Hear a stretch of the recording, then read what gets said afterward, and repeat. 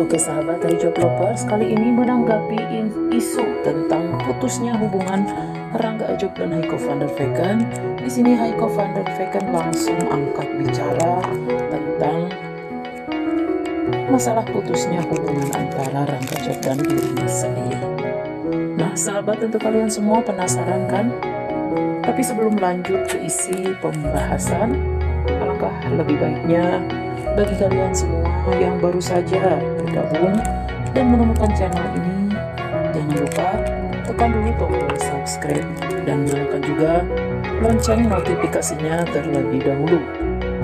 Tujuannya agar kalian semua tidak ketinggalan informasi terbaru dan terupdate setiap harinya di channel ini. Oke sahabat Hijab Lovers, tak usah menunggu lama-lama, kita langsung saja ya ke isi pembahasan. Sahabat Hijab Lovers menanggapi isu-isu tentang putusnya hubungan Hijab. Di sini Heiko van der Vecken langsung angkat bicara tentang hubungannya dengan Rangga Hijab. Di sini Heiko van der Vecken merasa bahwa netizen ini memang sudah sangat jauh ya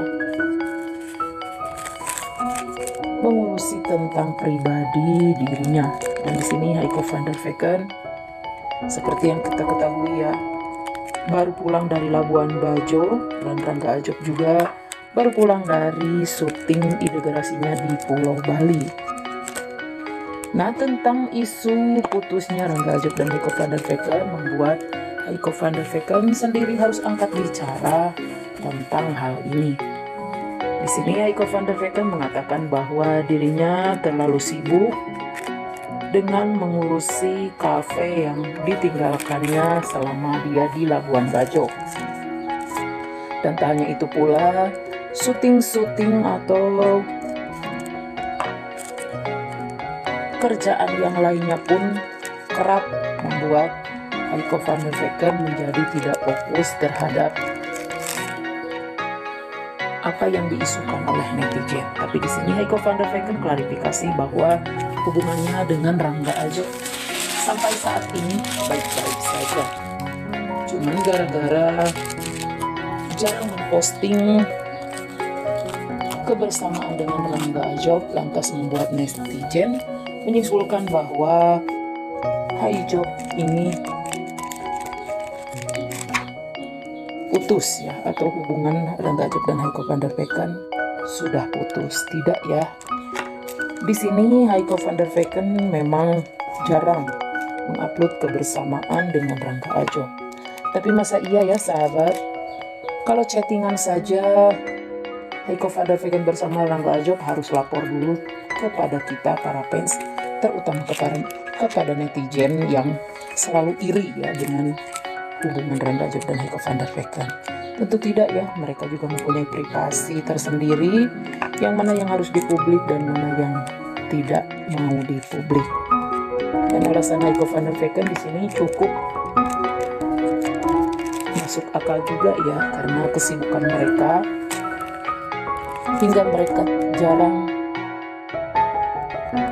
posting atau mengupdate kebersamaannya dengan Rangga Ajob tapi kan kita tidak tahu ya keseharian atau kita tidak standby setiap waktu atau setiap saat apakah mereka ini sudah bertemu atau tidak. Yang penting kita positif thinking aja. Kalau hubungan antara Rangga Ajob dan der Vecken sampai saat ini masih baik-baik saja. Kita terus aja ya sahabat jangan berpikiran atau berprasangka buruk karena tidak baik kalau kita terus memojokkan mereka berdua ini. Karena mereka juga mempunyai privasi yang harus mereka pegang ya. Yang mana yang harus dipublik dan mana yang tidak.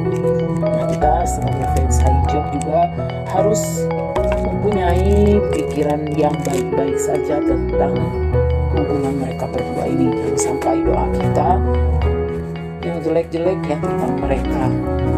Atau pikiran kita berpikiran bahwa mereka ini sudah putus dan jangan ya hubungan mereka sampai saat ini masih baik-baik saja cuman jarang dipublikasikan ke publik itu saja ya nah sahabat kita doakan saja mudah-mudahan hubungan antara Rangga Job dan Naiko van der Vegan baik-baik saja sampai nanti.